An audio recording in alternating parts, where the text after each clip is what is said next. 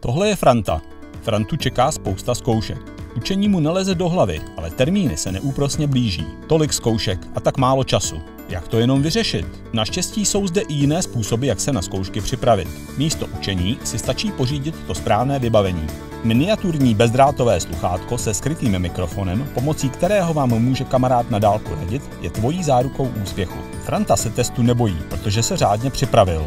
Exceluj při zkouškách s minimální námahou. Pepa tráví dny učením, je podrážděný a ve stresu.